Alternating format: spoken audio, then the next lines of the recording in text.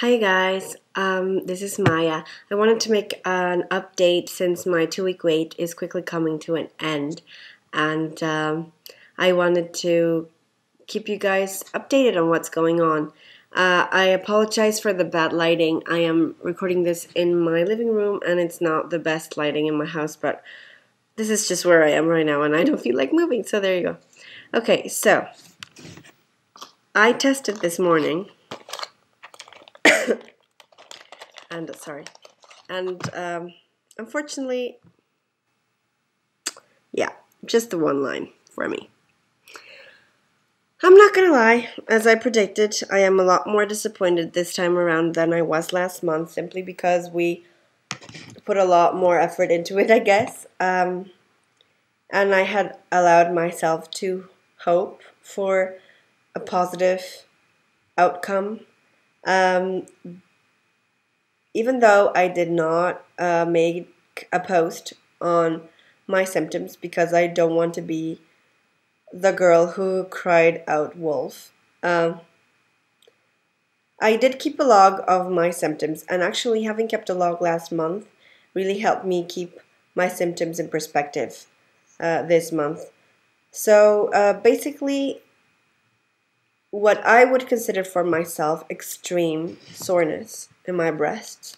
Like I would just cross my arms and I would feel that they were sore. Um, I stapled something at work and I thought, ooh, that's not normal. Also, um, my CM was, TMI, sorry, was a little bit unusual for me. And I know that Maven, even though that's not your real name, I'm sorry, but that's the name that I can uh, remember right now. Uh, she mentioned that that was one of her first signs that that's uh, something was going on. So that, and then on Saturday while we were away, um, I noticed some slight spotting, and that was cycle day 23, 10 DPO. So you TTCers out there know what where I went in my head with that, and I thought, oh, it might be implantation bleeding. Apparently not. What it was, I have no idea. In my entire life, I don't recall ever having spotting on cycle day 23. Not ever. Um, so yeah. And cycle day 24, uh, 11 DPO, I had no spotting at all. Uh, and this morning I had slight spotting, but now it's cycle day 25, and I'm pretty sure I'm going to have a 26 day cycle. So I am 99% sure that I am getting my period in the morning. My husband doesn't know that I woke up at 5:30 in the morning to take this test because I want to surprise him more than anything. Um, more than I want his support actually during this. However, I did tell him this afternoon that I was pretty sure my period was coming. And to see the look of disappointment in his face, man, that's when I got a little teary eyed. Um, yeah. We spent the weekend with a bunch of friends, and uh, two of these friends have a son who is actually my husband's godson. And uh, just to see him play with that baby and to be with that baby, and uh, I was having a bit of the baby fever this morning. So, yeah, that's not helping the whole one line scenario, but what are you going to do? Um, so, I guess that's it. Uh, I am just waiting for it now. You know, I have, I bought a two pack. Uh, this is the brand that I use. It's just like a drugstore brand, and it says pregnancy test in Dutch, in French, and in German. Three official languages of Belgium where I live. And basically, you can see here what you're supposed to do. Where is it? Oh, there. Sorry. Yeah, it's that kind. So you put four drops in there and you wait five minutes, and if you're lucky, something shows up which it didn't. And I also got a digital kind, but this is more expensive. This was five euros, uh, which is roughly eight dollars for two. Uh, and this is a digital test that I also got. Ooh, too close. And it's more. It says that it's more than ninety nine percent accurate, and basically, it says this is pregnant here here. That's pregnant and that's not pregnant. And it has a conception indicator and the numbers that you see underneath there, see, oh, yeah, sorry. it's one to two. So that means if you get that, it means that you're one to two weeks pregnant. It measures your HCG levels, and according to that, it will tell you what it is. So I am not going to open this until I get a positive here. uh, I'm not. I financially and mentally, I don't want to go there. I don't want to. Yeah. All right. So what else? Oh, one of the reasons that I was so disappointed. Well, other other than the obvious reasons to be disappointed, is that because I was. I guess you don't realize until you get the negative how much you were hoping that it would be positive. Um, but I wanted to be prepared in the event that it was positive, and I figured out a way to tell my husband about it, about giving him the news, I mean. Um, it's the holidays everywhere, and while Christmas is celebrated here, it is not the main gift giving holiday for like children and families, especially children. Uh, and it's my husband's favorite holiday. Even now, he's as excited as a little kid. Uh, and what you do is you celebrate Sinterklaas on December 6th. And Sinterklaas is this man. Does it remind you of anyone? Oh, where is he? There he is. Who does that remind you of? White beard, red. Actually, he is Saint Nicholas, which is what Santa Claus is based off of. And he comes in a boat, a steamboat. You see that? Steamboat. And he has this guy who's called Black Pete uh, in Dutch it's called Zwarte Piet, and uh, he's Sinterklaas. So he brings gifts to the children on December 6th. And uh, on the two weeks leading up to Sinterklaas, children will put up their shoes with a little something for him. He comes during the night, and a little something for uh, Piet, and a little something for his uh, uh, horse. Sorry. Oh, and uh, yeah, so you leave something out for them, and uh, you hope to find something in your shoe in the morning. And it can be something really small, like on the two weeks leading up to it, it will be something really, really small for children.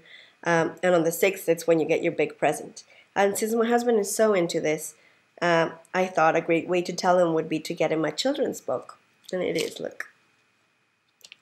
It has like words in there for boat and stuff. So it's the story of, of, of Sinterklaas and where he comes from and whatnot. And uh, so I thought I would put this in his shoe and tell him, look, you got something in your shoe. And I would put in a little note in here that said that it was for him to read to our babies next year, or baby uh, next year. Um, twins don't run in my family. That was just an accident. All right, so uh, the thing is, December 6th is fast approaching, and yeah, this won't work as an idea for uh, my next cycle if we are lucky. Next cycle. So I'm kind of bummed out. It would have been so perfect because my husband loves this holiday so much, and I was very sad that uh, I even came up with a way of telling him, and it didn't work. I mean, it's not going to work out this month, but you know what? Yeah.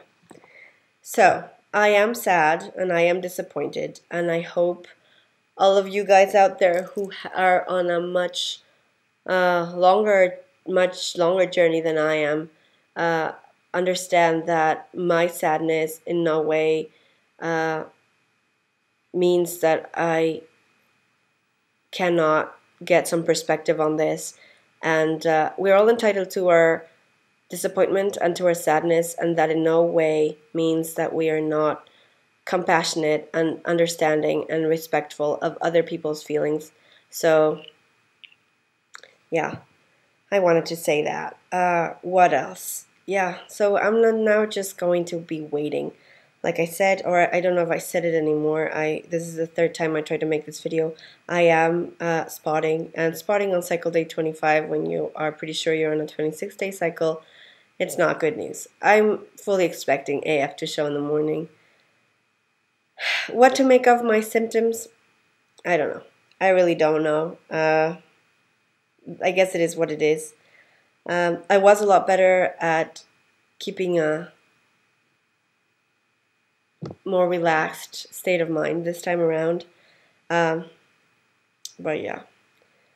So I guess that's it. Oh, uh, I made a video last week asking uh, on an opinion on whether or not I should go to uh, the gym, and in the end, I I didn't. I didn't uh, because I don't remember anymore who wrote this, but it's true. I guess during the two week wait, I'm going to treat myself like I'm pregnant, um, and I much rather be, and even now, I much rather be the couch potato who stayed home and played safe than the newly pregnant woman who regrets having gone to the gym.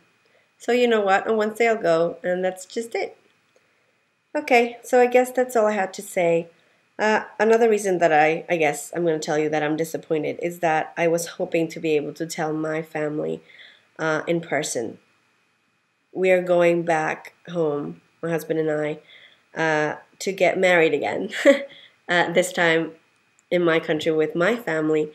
And uh, I was hoping, since we're going to be there for the holidays, that I was going to be able to tell them and give them the good news then. I don't spend very much time with my family at all. I see them once a year for a couple of weeks. And uh, it's been so long since I actually got to share good news with them in person. Um, I was so hoping to be able to do that. And uh, that was also something that, you know, your mind just go there, goes there, sorry, even if you're trying to keep a level headed attitude, you still hope it, go there and you hope. So, you know what? You have to keep up hope. And um, I thank you all for your nice, kind comments. Uh, please don't feel sorry for me. I am sad, and I, I really am sad and disappointed. But I'm also fully aware that it takes time. And for all of you guys who have gotten your positives, especially Katie. I am so happy for you. Um, and I'm hoping to join you very, very soon. Um, baby dust to all of us who have yet to get our BFPs. And um, till next time, you guys. Bye.